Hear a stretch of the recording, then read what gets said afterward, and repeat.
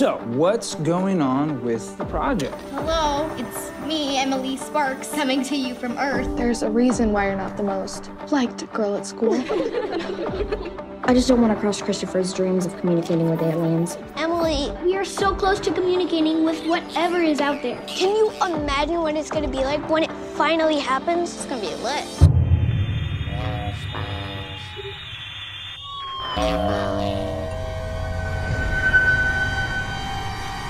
Will you let us in?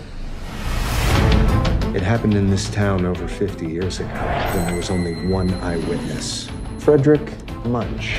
You mean me, Mr. Munch? His house is totally haunted. The black-eyed kids.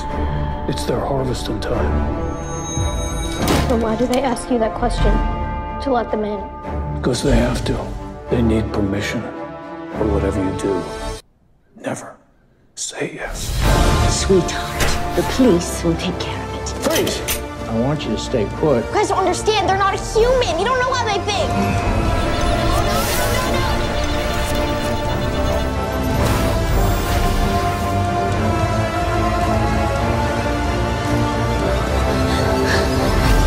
You think you'll get out alive?